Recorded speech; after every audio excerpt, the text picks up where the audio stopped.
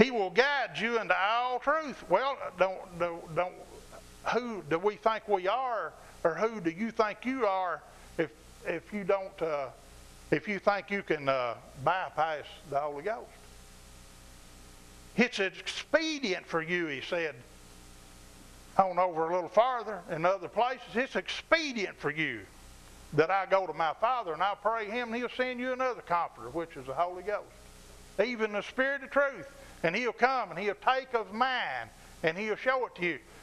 Listen, Jesus wouldn't do nothing. He didn't take nothing and show it to nobody without His Father told Him to. The Holy Ghost that Jesus told the disciples to go and tarry and pray for, He didn't do one thing. He just took of what Jesus Christ done and what he heard him say and tell, and that's all that he tells us about. Now think about that. Think about that. Jesus said, For he shall not speak of himself. Now, this is the part I believe the Holy Spirit's wanting to drive home. Jesus didn't speak of himself, Brenda. The Holy Spirit didn't speak of himself, Deb. Who's the next in order? Humankind, mankind. Who are we to think we can speak of ourselves or be led or operate by our own mind and our own flesh when that the Son of God couldn't and the Holy Spirit couldn't?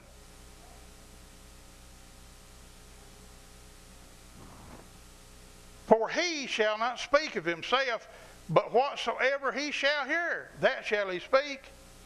Man, ain't that something? Ain't that something? I, that's the part now that I, I, that I want in my spirit for people to get a hold of. The Holy Ghost won't speak of himself, and he will just speak of the things that he's heard from Jesus. He'll take of Jesus. He won't speak of himself. The Holy Ghost won't say, I'm the Holy Ghost. I'm telling you to do this. He won't speak of himself. He'll speak here. What does the word say, Brenda? In the days of old and older times, Kenneth, that God spoke to us through the Spirit by His prophets. But in these last days, He speaks to us by His Son, the Word, as it's showed to us by the Holy Ghost. No match, no a man or a woman is no match if your IQs are equal to someone who's been filled with the Holy Spirit.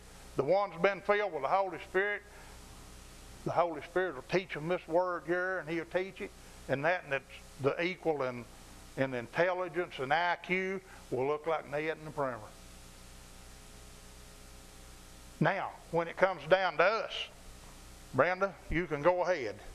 When there if you want to. When it comes down to us, you can read John chapter 17, verses 8, 14, 17, 21, 22. It's the Father, the Son, and the Holy Ghost, and then it's us.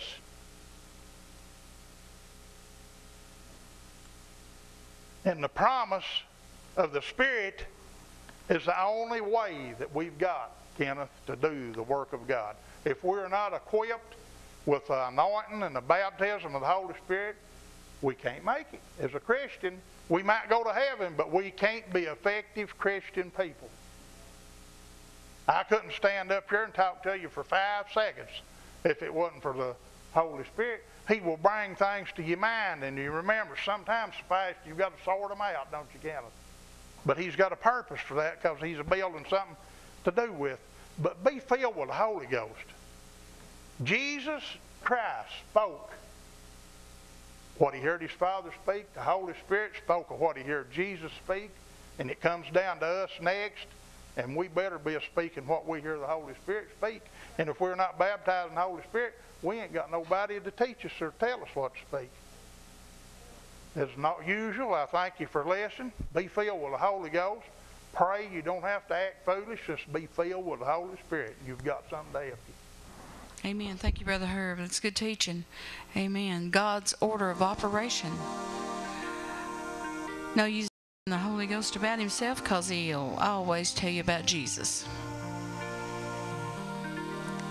And if Christ is in you, it's the hope or the expectation of glory. Praise God. Amen. Baptism with the Holy Ghost. John said, There's one that comes after me whose shoelaces I'm not worthy to bear. He shall baptize you with the Holy Ghost. Paul, asking some of the disciples, said, What were you baptized to? And they said, "To- Unto John's baptism. Then he laid his hands on them and they received the Holy Ghost. Praise God. Hallelujah. Amen. If you're not filled, ask God to fill you with the Holy Ghost, to baptize you. If you're a Christian, if you're born again, that qualifies you to be filled with the Holy Spirit of God. This has been um, Sister Brenda, along with Brother Gross, Brother Herb, Brother Davy, and all of us here at the station saying until next time, you've heard God's word for today.